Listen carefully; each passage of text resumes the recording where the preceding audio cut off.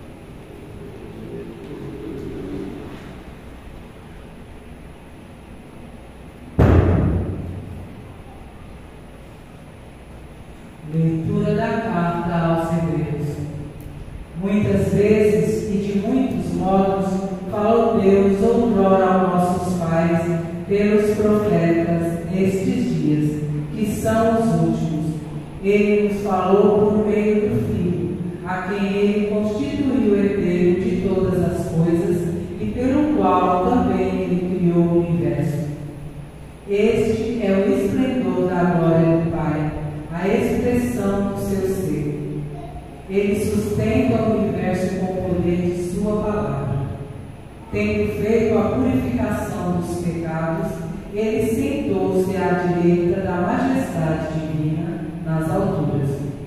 Ele foi colocado tanto acima dos anjos, quanto o homem que ele herdou supera o nome deles. De fato, a qual dos anjos Deus disse alguma vez: Tu és o meu filho, eu hoje te gerei, ou ainda, eu serei para ele o pai e ele será para mim filho? Mas, quando faz entrar o primogênito no mundo, Deus diz: Todos os anjos devem adorá-lo.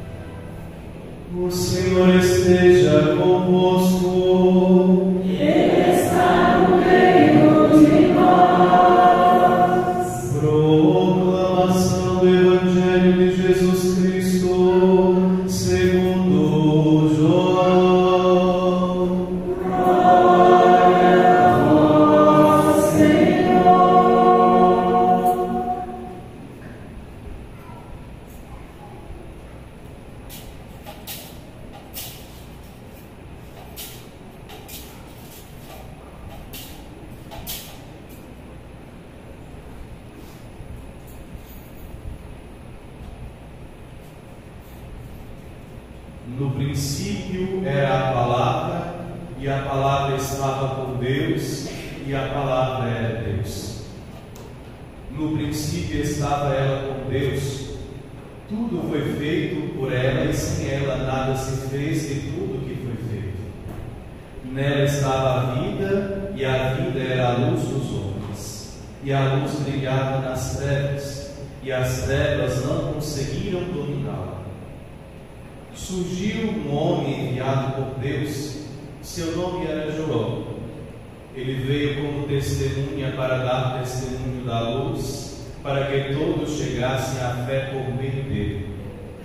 Ele não era a luz, mas veio para dar testemunho da luz, daquele que era a luz de verdade, que vindo ao mundo ilumina todo o ser humano.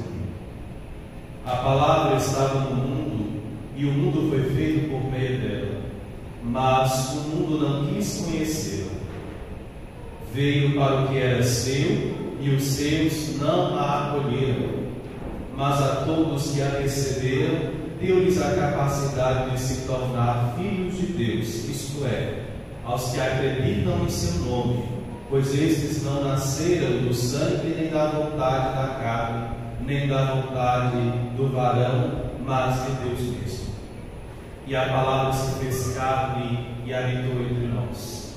E nós contemplamos a sua glória, glória que recebe do Pai como Filho unigênito, cheio de graça e de verdade.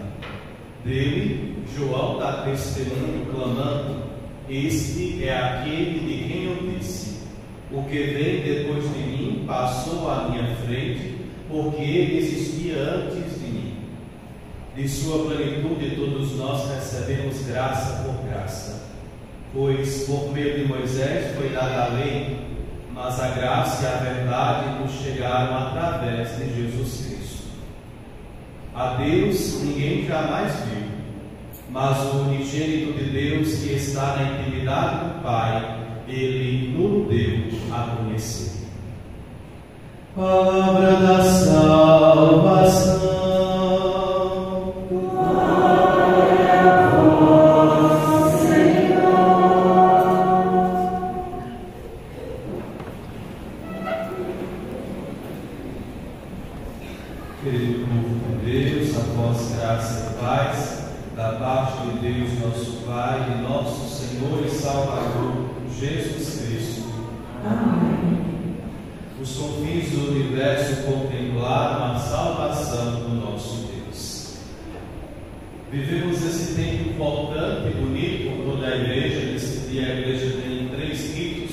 Missa da aurora, a missa da noite, a missa da aurora e a missa do dia do Natal, que é essa que nós estamos celebrando agora à noite.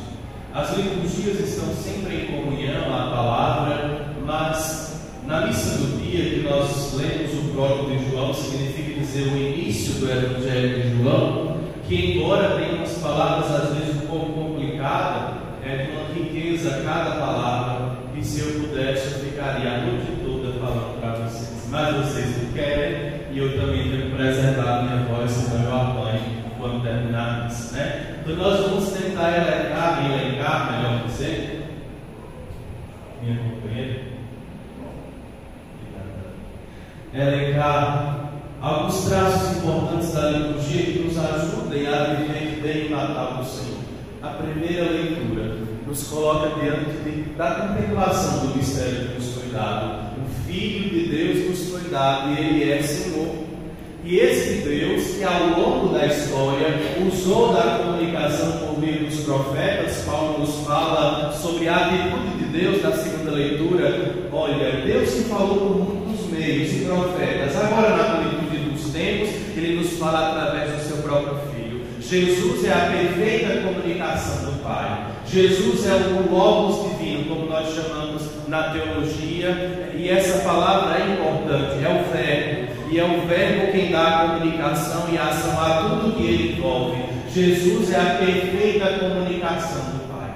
Tudo que o Pai nos quis dizer, tudo que o Pai nos quis demonstrar, ele fez através da vida, do testemunho e da pregação de seu Filho sobre o reino dos céus. E isso é importante. E nós devemos reconhecer o quanto Deus foi insistente em nos amar. O presépio que nós vemos as, as senhoras dizem, oh, mas é bonito, oh meu Deus, menino de coisa perfeita, né? Nós escutamos, escutei minhas vozes falar, falar, isso, falar isso muitas vezes. No presépio tem um touro e um burro. A gente acha que é só para enfeitar. Isaías capítulo 9. Deus disse no coração pesaroso, meu Deus, Deus de minha salvação, o profeta diz, Isaías, mas dando ouvidos a Deus, este povo tem animais, o touro reconhece a autoridade do seu dono, o burro reconhece a autoridade do seu dono, mas o meu povo não me reconhece. O touro reconhece a autoridade de seu senhor e o respeita.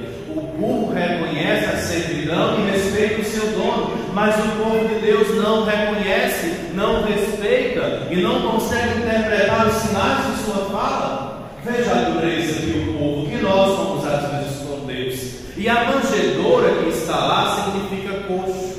É coxo mesmo, não é algo bonito. Foi onde Jesus nasceu. Lá tinha o touro, lá tinha o burro para dizer: olha, ali eles se alimentam. Ali o touro que representa os judeus, raça firme e decidida. Ali o burro que representa os pagãos, ou seja, aqueles que ainda não haviam escutado a palavra de Deus. Ali eles se alimentam naquele coxo. E ali nasceu o para dizer que agora judeus e pagãos se alimentam dele e da palavra dele em Belém, casa do pão. Não é só uma beleza que nós contemplamos e a igreja é cheia de beleza, viu? Nós formos falar aqui, a gente passa meses falando, mas o mistério do Natal é justamente para dizer que nós devemos ter corações abertos ao mistério do Pai. Não sejamos mais tolos, não sejamos mais burros desculpe a palavra, estou usando a profecia de Isaías, capítulo 9. O burro conhece a servidão do seu Senhor e o respeita. Os seres humanos não. Os seres humanos às vezes não reconhecem o seu Deus, não escutam, não vão à fonte beber da palavra, não vão à fonte beber da comunhão. E o Natal é esta decisão de ser iluminado pelo Verbo de Deus. Ele quem vai nos orientar, dissipar as trevas da nossa vida e fazer assumir em nós, com língua e testemunho, verdade sobre o Evangelho do nosso Senhor. Mas isso, como havia dito ontem, é preciso elencar isto hoje, requer de nós que nosso homem, nosso homem velho morra para que se nasça um homem novo, que se cante uma canção nova, que se abra o coração para Deus. É importante é uma decisão diante de Deus que vem dizer a nós: Eu venho a ti, e eu nasço para morrer por ti, e eu morro para que tu vivas. Tu podes me acolher, diz Deus a nós no nascimento de seu filho. Tu podes dar-me de beber a eu que não tinha teto, não tinha comida, nem lugar certo para nascer. Nós podemos acolher a palavra de Deus, é isso que Deus nos interpela. E a palavra, que é o Evangelho, João vem belamente dizer, já pegando do início da nossa criação, da criação de tudo. No princípio era a palavra, e a palavra era Deus, e a palavra estava com Deus, e a palavra era verdade. E tudo o que existe foi feito por meio dela, e nada do que existe existiria sem ela. A palavra traduz o pensamento do Pai, irmãos e o que é que traduz os pensamentos de vocês? Não são suas palavras? Você pensou bem ou pensou mal, você vai usar as suas palavras para traduzir aquilo que pensou na sua intimidade, exceto as mães. As mães elas falam, hum, hum, hum, e elas acham que nós vamos adivinhar o que é que elas têm para nos dizer. Jesus é a perfeita comunicação do Pai. E o Pai nos quis amar e salvar através dele, mas se nós continuarmos fechados, distantes da palavra e do Evangelho, nós não conseguiremos entender a luz, que é a verdade e a perfeita caridade, nosso Senhor e Salvador Jesus Cristo. Por isso que hoje a igreja do mundo inteiro diz: cantai, cantai ao Senhor um canto novo. O Natal é a decisão por Ele, mas tomai cuidado, que lá fora o teu testemunho não desminta o que falaste com a língua. Significa dizer concorde a tua língua, a tua fala, com o teu testemunho e tuas ações. Assim fez Jesus, nosso Senhor e Salvador. João diz: Ele veio para os que eram seus e eles o rejeitaram. O primeiro povo foi o povo judeu. Depois Deus veio a nós. E estando no mundo, Ele nos deu a conhecer a verdade e a intimidade do Pai. Por isso, nessa noite, abramos o nosso coração com a decisão de não sermos um povo de cabeça dura, nem touros, nem burros, mas que então possamos vir à casa do Senhor e aqui nos alimentar unicamente da verdade da Sua palavra, unicamente do Deus que revela a nós a misericórdia do Eterno. Ninguém jamais viu o Pai, mas Jesus, nosso Salvador, nos deu a conhecer e por meio dele recebemos graças por graças. Que Deus nos ajude e nos dê uma fé condizente com, a nosso, com o nosso testemunho Cristo. Abra as portas da tua casa, do teu trabalho, da tua vida, da tua família. Diga ao Senhor que tu queres cantar com Ele canto novo, que é assumir a boa nova do Evangelho. Insista em dizer a Ele que tu quer ter experiência desta palavra que ilumina e dissipa as trevas. Mas é necessário determinação e conversão nas nossas vidas. Tenhamos coragem de ver a luz e a verdade e não se engane. A luz e a verdade foi para isso também que ele veio. Se nós permanecermos convictos na nossa escuridão nos nossos erros, nós nos perderemos. Por isso que a verdade dissipa a mentira e ilumina as trevas, para que nós tenhamos acessos puros e misericordiosos ao testemunho da verdade do. Que Deus nos ajude a abrir os nossos corações para podermos professar nossa palavra e nosso coração e assumir a nossa fé na verdade encarnada, que é nosso Senhor Jesus Cristo. Louvado seja nosso Senhor Jesus Cristo. Para sempre seja louvado.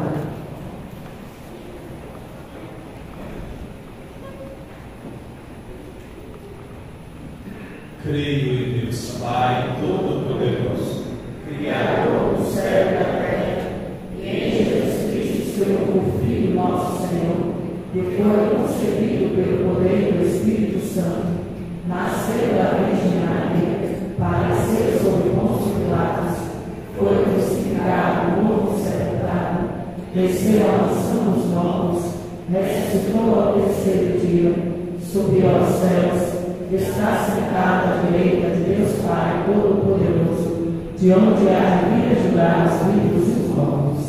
Creio no Espírito Santo, na Santa Igreja Católica, na comunhão dos santos, na remissão dos pecados, na ressurreição da carne e na vida eterna. Amém. elevemos, irmãos e irmãs caríssimos, as nossas preces a Deus, nosso Pai.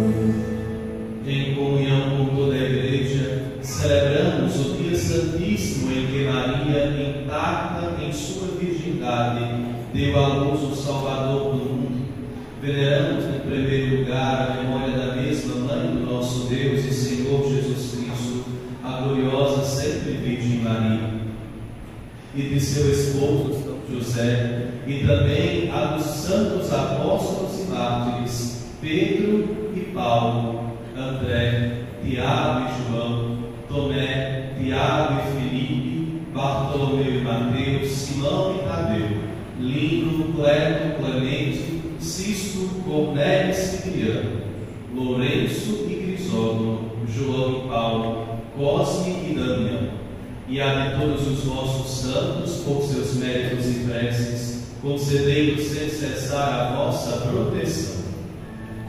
Comunhão, vossos santos, nos tornamos.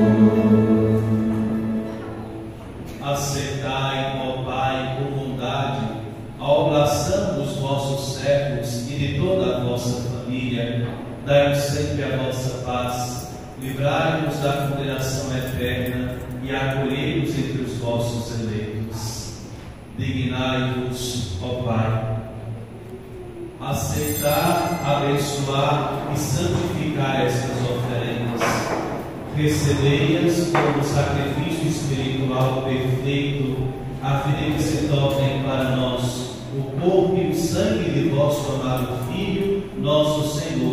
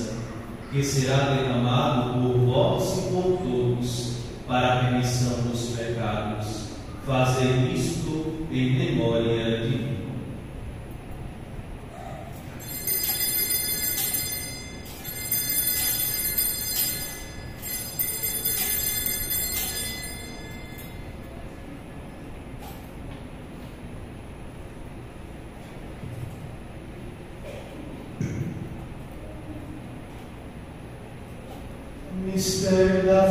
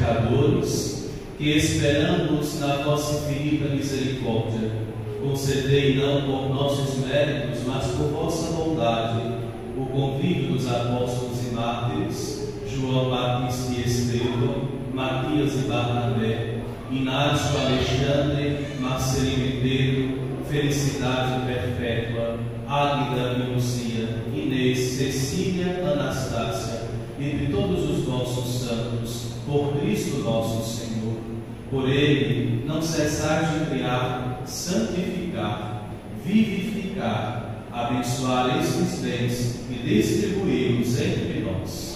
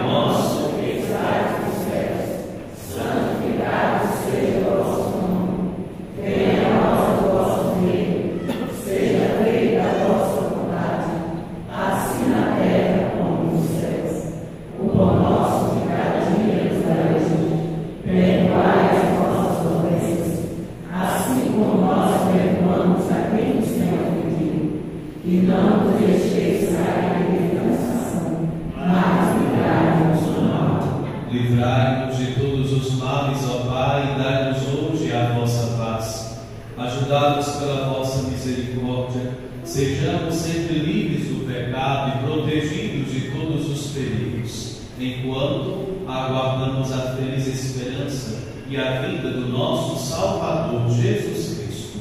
Vosso é o reino, o poder e a glória para sempre. Senhor Jesus Cristo, dissertes aos vossos apóstolos: Eu vos deixo a paz, eu vos dou a minha paz.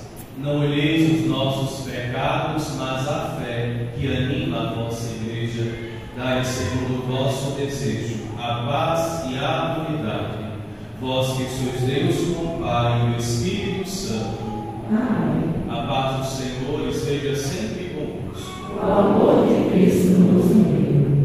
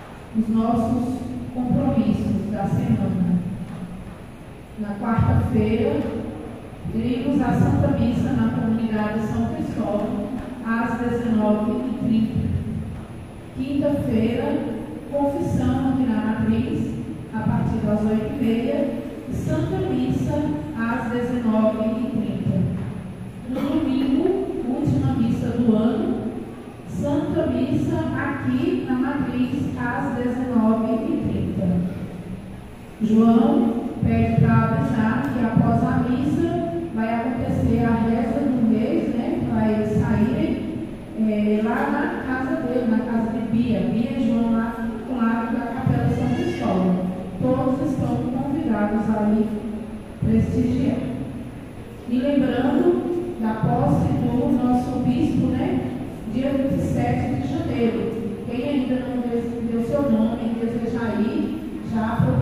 membro do CPP e passa o nome para a articulação do transporte.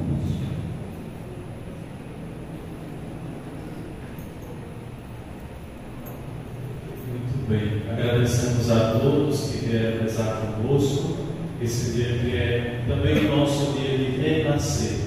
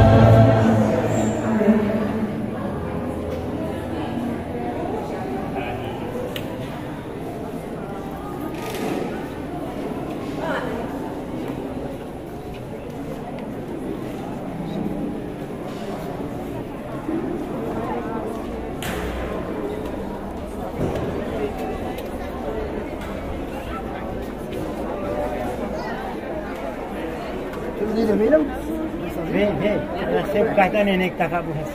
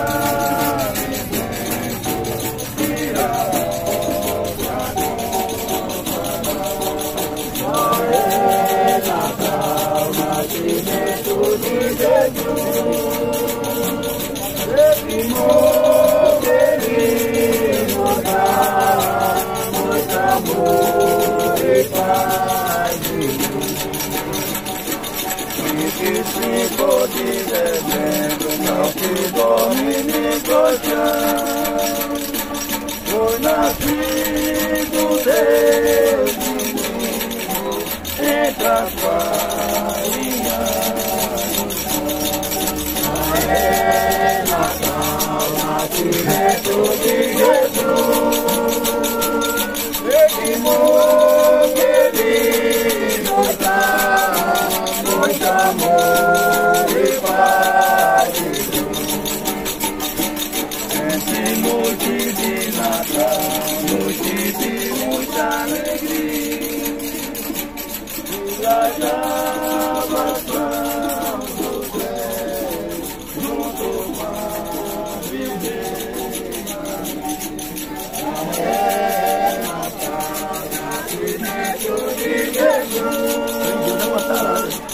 de você nos dá muito amor e paz e luz.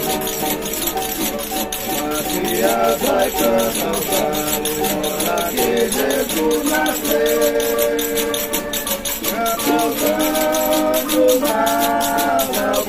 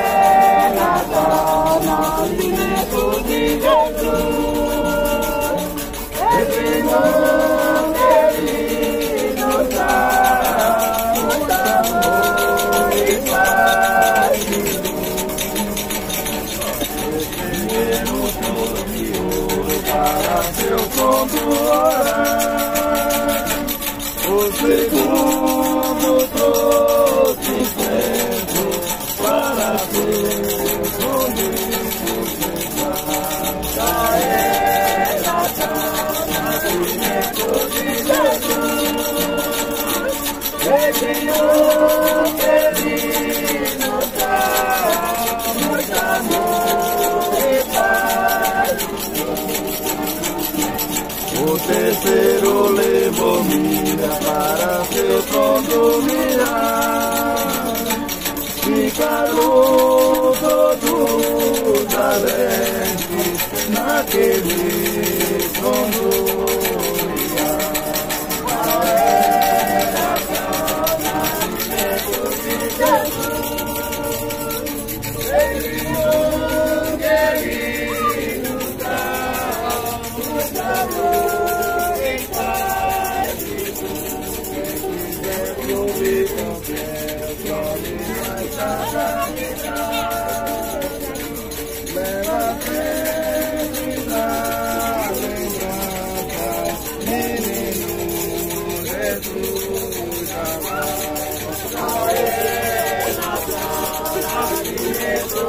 Pedimos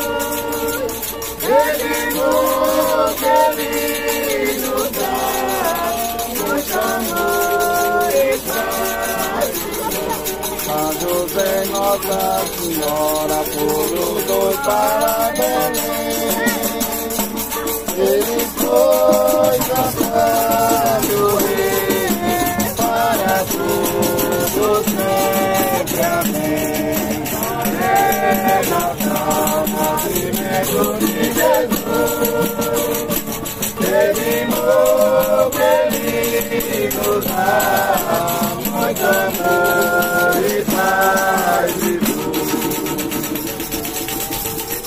Louvado seja nosso Senhor Jesus.